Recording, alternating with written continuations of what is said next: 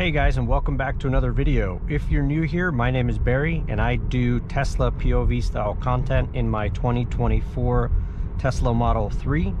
I specifically focus on Tesla's full self-driving capabilities and software. So if you're new here, welcome. We are out for a drive in my Model 3 right now. We're running full self-driving version 13.2.2. So I'm gonna go ahead and enable that right now. And there we go. So now the vehicle is going to be autonomously driving itself for the remainder of the route. We are showing weather of about 58 degrees Fahrenheit. We are in the standard profile for the full self-driving mode. Out of the three modes that full self-driving offers, I do like to stick with standard. You see this yellow light here, the car just went th right through no hesitation whatsoever.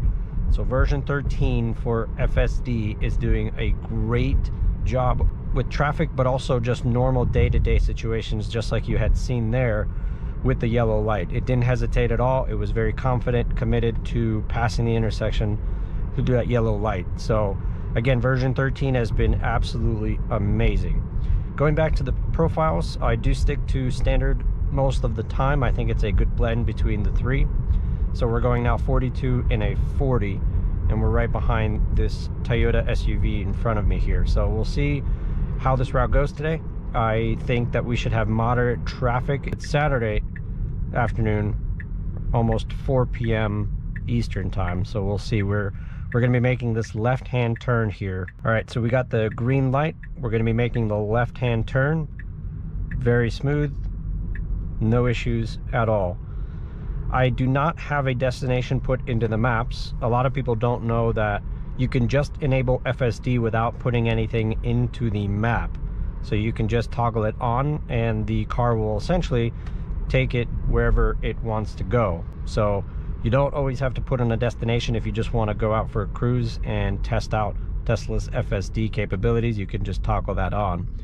Now, if you're on the fence between getting Tesla's full self-driving software, you might be in a Tesla and you don't have FSD purchased or subscribed, or you don't have a Tesla but you're on the fence of getting one and you're not sure of how well full self-driving is inside of a Tesla. So I'm here to reassure you that with this latest update, especially on version 13, that the capabilities and the functionality and the confidence and overall safety is now at an all-time high. I have been testing full self-driving for the better part of a year. There are many other people that have been on Tesla's full self-driving journey much longer than that. Um, but I've been on the journey for about a year, so I've seen over the past 12 months or so how much improvement this software has gotten. And I can't say enough good things about version 13. This version just released to the public probably about two or three weeks ago, and the jump from 12 to 13 has been exponential. So if you've been on the fence and you've been kind of waiting it out and watching videos on what Tesla's FSD can do, how safe it is, and how comfortable others feel in it, I think right now is a great time to go for it. Because with version 13, I feel very safe. I feel as if it's very reliable.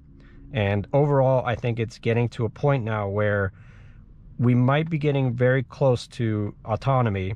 And the reason I say that is because they've included in this new update a park or start rather start from park feature where you can just essentially click a button after putting in your destination and the car will back out of your garage, out of your driveway, out from your apartment complex, wherever you're housing situation is, whether that's, like I said, in the garage, driveway, parking lot, you can just put in your destination, click a button on the on the touch screen here, and the car will take you all the way to your destination. So that's a new feature you've had to engage full self-driving during your drive. So you wouldn't be able to back out from a spot. FSD never used to be able to back out or reverse in general so now they've included these features that make it feel very autonomous and very independent. You can see here we're going to be making a right here. The lane ends right up ahead. So we'll see how Tesla does here. So it's recognizing that and it just passed that car because I guess for its standards it was going too slow. And so that's what I mean.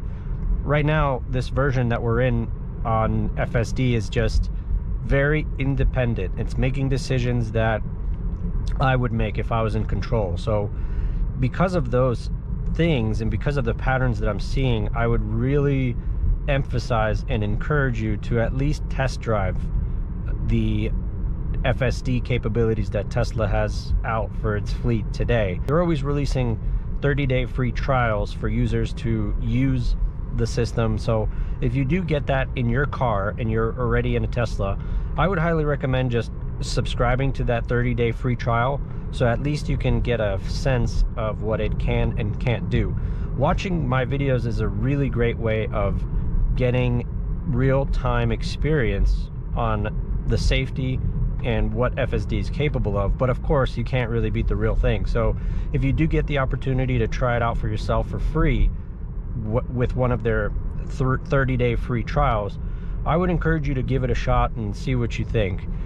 But in my opinion, I think it's really, really great and light years better than even where we were just a year ago. I'm sure if you go back even further than that, the progress has been exponential but even over the last six to 12 months, it's been absolutely amazing to see the progression um, overall. And so the way I gauge whether or not I'm satisfied and happy with full self-driving is how stressed or not stressed I am. But what I mean is used to be where I would be hesitant with allowing the car to make decisions on its own. So I would be really watching it like a hawk and I would have to be disengaging it because it would be making decisions that are incorrect and my stress levels would be medium to high.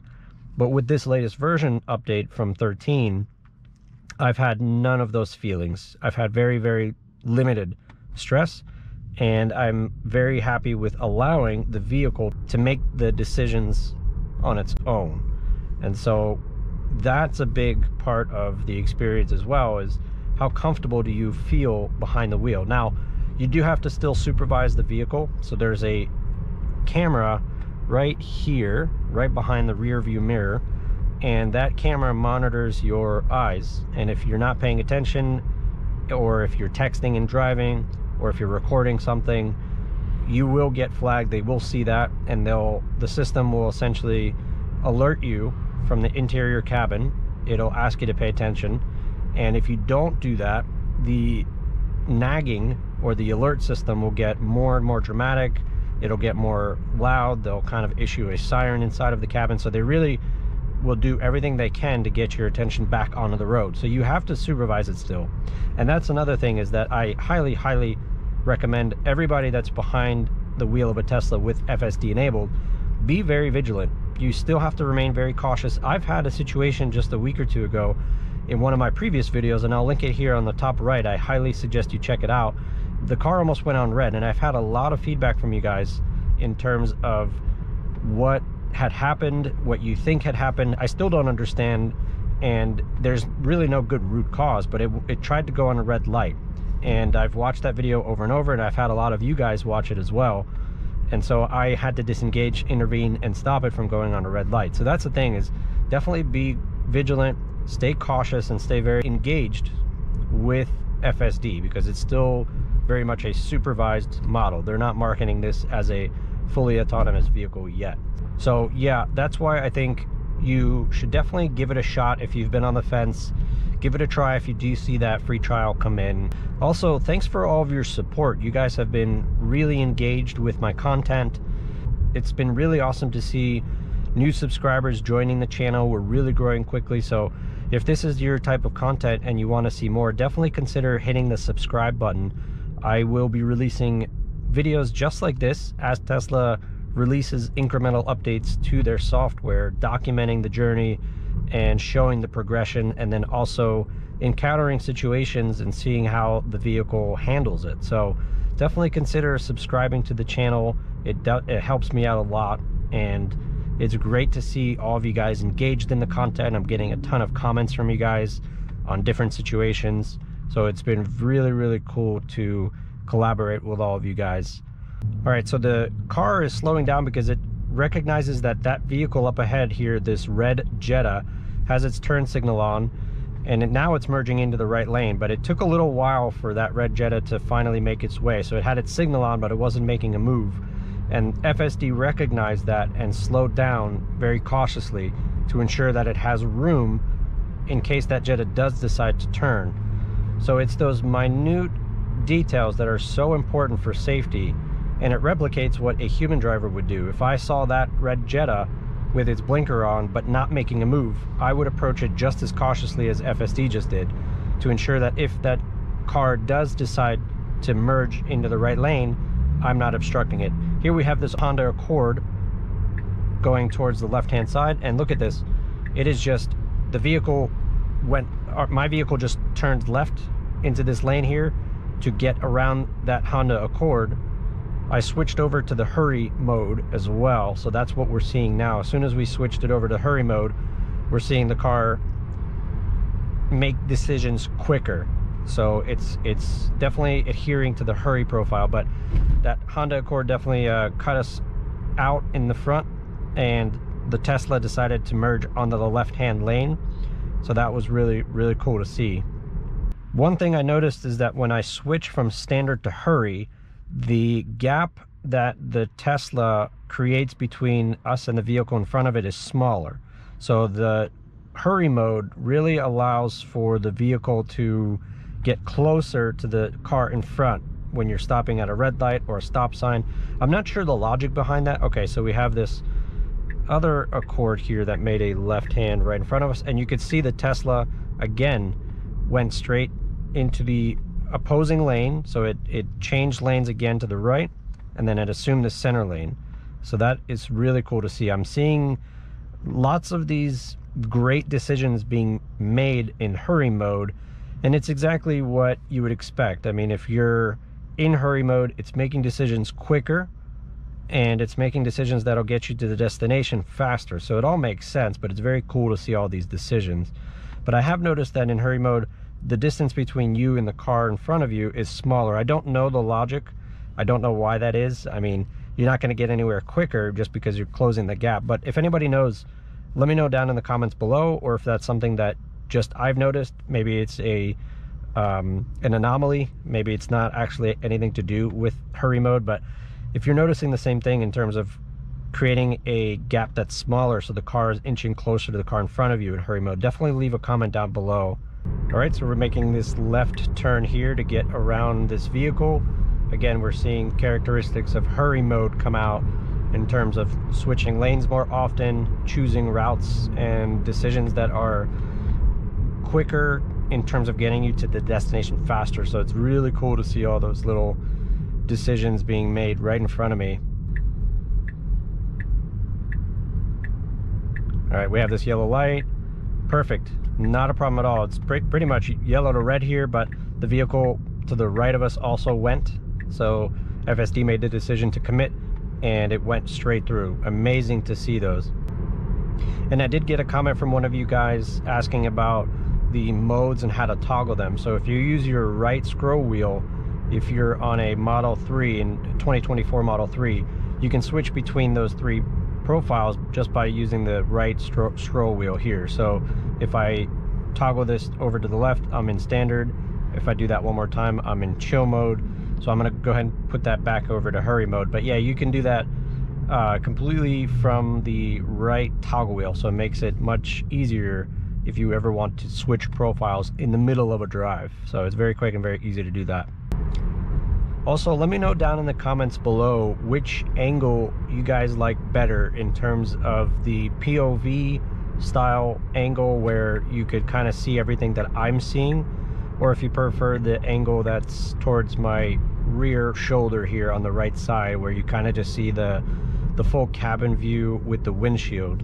Let me know down in the comments below which angle you prefer because I'm going to be trying out different uh, different cameras and I want to make sure that I provide the best viewing experience for you guys. So we got some slowdowns here. This Ford went towards the right to get past this blue Prius and it looks like FSD is going to be doing the same thing. So this Prius is definitely going much slower than the flow of traffic. So FSD pretty much has passed it. It merged right to get ahead of the blue Prius and then merged back into the left lane and we have this yellow light so it's slowing down for that very nicely. I can also tell that in hurry mode your car accelerates much faster. So it's taking off from lights much quicker from stoplights much faster which makes sense as well. That's all aligned with what you would expect from the hurry mode. One thing that really fascinates me about Tesla's software and their camera system is how far these cameras on this car can see out.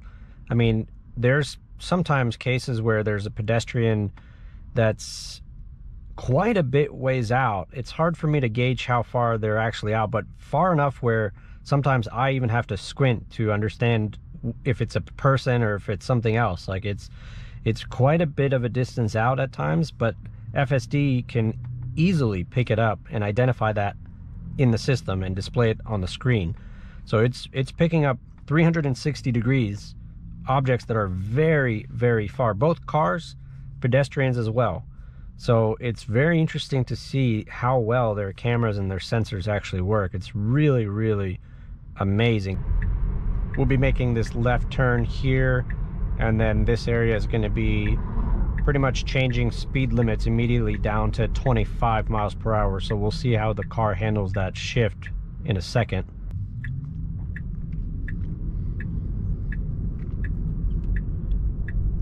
as you can see here the speed limit is 25 all right we're picking up speed to 34 35 okay 36 now I believe that I have my max offset set to 25% and my regular offset set to plus 10. So we're doing 37 now. It is a little bit fast. I'm gonna go ahead and lower that down a little bit. You have the ability to toggle your speed up or down on the fly as well by using your right scroll wheel. So by doing that, you can lower your speed if you're going too fast or you can increase your speed if you feel as if you're going too slow. It is keeping up with the flow of traffic now. We're changing from a 25 to 35, so the Ford Explorer in front of us did pick up speed, and we are too. So the FSD is now going 35 in a 35, just went up to 36. So that's great. It is recognizing the speed limit changes, and it is also adhering to the flow of traffic. So we're now going about almost 40 in the 35 here, which is great. We should be making a slight right up ahead, not this right, but the next one.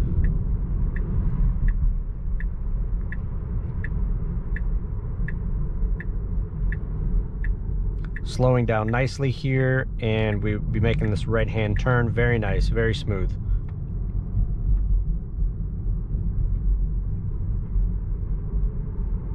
Now up ahead we will pass the intersection and then we'll be making an immediate left. So we'll see how it reacts there. It's going quite slow here for some reason past this intersection, not sure why. We're going 23. It started to slow down well in advance to our turn here, but here is the turn that we should be making. We'll be making this left-hand turn into this plaza, and then we should be making an immediate left following that.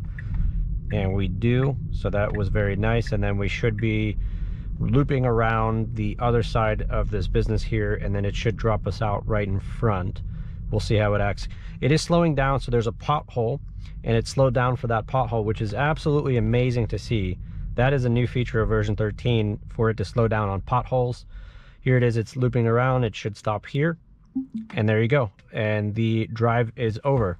So you see that there was zero interventions and no disengagements on this drive so again if you're on the fence i would highly suggest you try it out especially if you have access to one of their 30 day free trials. I appreciate you guys tagging along in today's video. Thanks for all your support and again if this is your type of content definitely make sure to subscribe to the channel for more videos like this and i'll catch you guys in the next video